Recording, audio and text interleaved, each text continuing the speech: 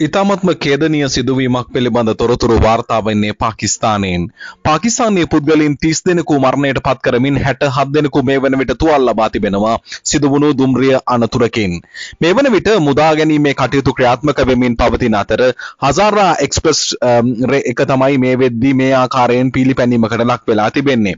කෙසේ වෙතත් වාර්තා වන තොරතුරු වලට අනුව පාකිස්තානයේ දකුණු සින්ද් ප්‍රාන්තයේ මෙම සිදුවීම සිදුව තිබෙනවා. නවාබ් ෂා කියන ප්‍රදේශයේ සිදු වුණු මෙම අනතුරින් තවත් මරණ සංඛ්‍යාව ඉහළ යා හැකි බවටයි තොරතුරු වාර්තා වන්නේ.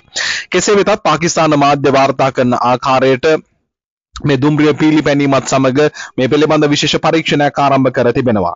තවදුරටත් මුදා ගැනීමේ කටයුතු ක්‍රියාත්මක වෙමින් පවතින අතර තුවාලකරුවන් මේ වන විට රෝහල් වලට රැගෙන යමින් පවතින බවටයි තොරතුරු වාර්තා වන්නේ. කෙසේ වෙතත් පාකිස්තාන ප්‍රවාහන සහ දුම්රිය අමාත්‍ය කවාජා සාඩ් ප්‍රකාශයක් කර තිබෙනවා. after through investigation පරීක්ෂණ වලින් පසුව මේට හේතුව කුමක්ද කියන දේ පිළිබඳ ප්‍රකාශ කරන බව ලාහෝර් වලදී ඔහු සඳහන් කර තිබෙනවා. ඒ වගේම මේ වන විට මේ සඳහා විශේෂ නිලධාරීන් කිහිප දෙනෙකුම පත් කර තිබෙනවා.